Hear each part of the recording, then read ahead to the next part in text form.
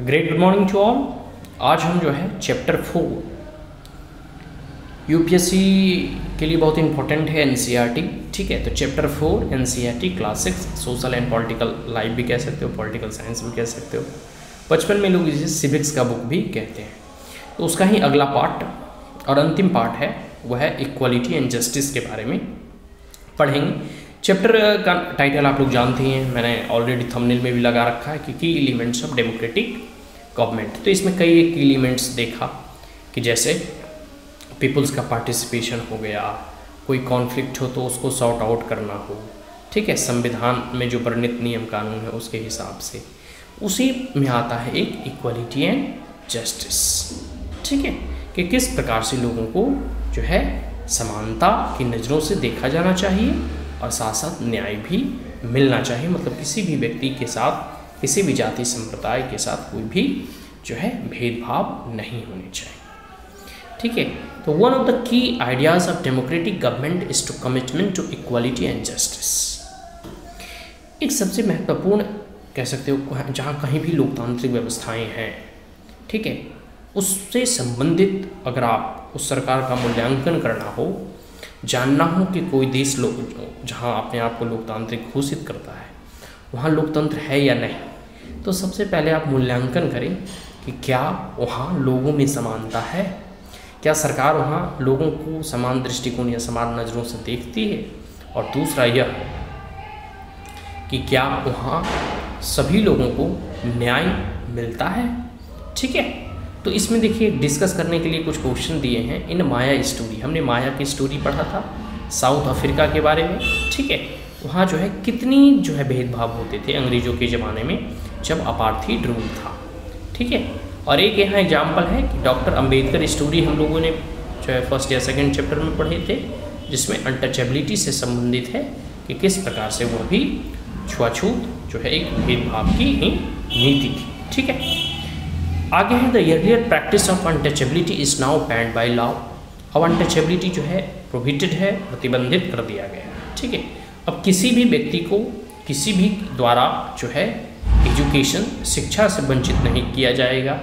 किसी को कोई ट्रांसपोर्ट पर चढ़ने वगैरह में कोई भी जो कह सकते हो कि भेदभाव नहीं होगा। इसके साथ साथ किसी को कोई जैसे टेंपल एंट्री या प्रेयर प्रार्थना करने से नहीं रोका जाएगा। तो ये सब सारे संविधान में वर्णित है।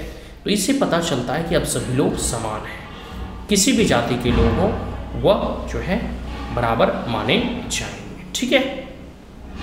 और आगे है कि प्रैक्टिसेस कोई भी ऐसी प्रैक्टिसेस को अगर अपनाता है, जो एक दूसरे के साथ भेदभाव करता हो, या कोई भी ऐसी नीति हो, जो दूसरे के साथ जो है नीचा दिखाने का प्रयास करता हो, या छुआछूत जैसी कोई भी ऐसी चीज़ें हैं तो उसे प्रतिबंधित कर दिया गया है और पनिशेबल ऑफेंस भी बनाया गया है। इसके साथ साथ जो है समाज में न्याय की भी कह सकते हो कि आकांक्षा रखी गई है कि जैसे जैसे इनक्वलिटी डिक्रीज होगा इक्वलिटी इंक्रीज होगा और समाज में, समाज के सभी वर्गों को जो है इक्वली ट्रीट किया जाएगा तो उसे न्याय मिल सकेगा। ठीक है?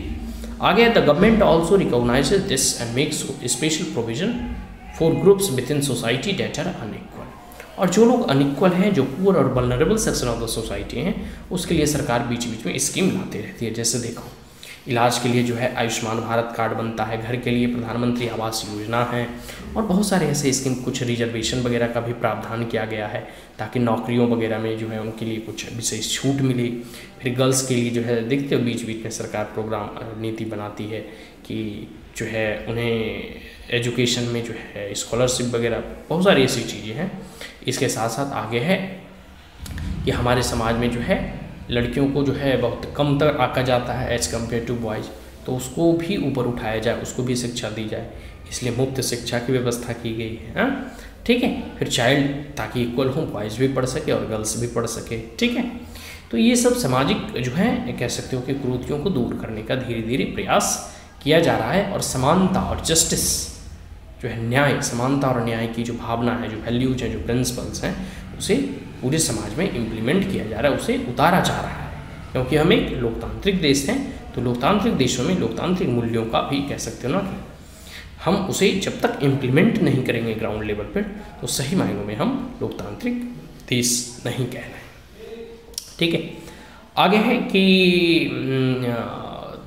in this context government step in to promote justice न्याय को बढ़ावा देने के लिए बाय प्रोवाइडिंग स्पेशल प्रोविज़न देखते हो, कहीं भी फॉर्म वगैरह निकलता है तो उसमें फॉर्म फ़ीस माफ़ रहता है गर्ल्स कैंडिडेट का। फिर स्कूल वगैरह में भी जो है, थोड़े उनमें, उन्हें कंपनसेशन दिया जाता है कंसेशन दिए जाते हैं। और इसके साथ साथ जो है, कुछ सीटें रिज़र्व भी रखी जाती है रिज़र्व भी रखी जाती है। तो ये सब ऐसा इसलिए किया जा रहा है ताकि this enables to overcome the injustice that they are subjected to और अब तक जो अन्याय उनके साथ हुआ है, जितने भी गर्ल्स साइड है, उसे हटाने का ये धीरे धीरे प्रयास है, ठीक है? Thus it is possible that the fee for the girl might be waived और लोअर इन गवर्नमेंट स्कूल और कॉलेजेस तो इसके लिए प्रयास किया जा रहा है कि अब जैसे जैसे गवर्नमेंट स्कूल हो उसके फ़ी को माफ़ कर दिया जाए या अगर लिया भी जाए तो कम लिया जाए, ठीक है? तो ये सब कुछ प्रावधान सरकार के द्वारा किया गया है। तो इस क्लास और इस चैप्टर को अब हम यहीं फिनिश करते हैं। ये चैप्टर हमारा पूरा कंक्लूड हुआ। हमने कुछ जो की एलिमेंट्स था ऑलरेडी हम देख चुके हैं। सबसे पहला था कि एलिमेंट्स के बारे में हमने साउथ अफ्रीका के बारे में जाना। उसके बाद हमने जाना पार्टिसिपेशन उसके बाद हमने जाना जो है, कई एक मेथड के जो है पार्टिसिपेशन के। उसके बाद है कि किस प्रकार से कॉन्फ्लिक्ट को रिजॉल्व किया जाता है। ठीक है?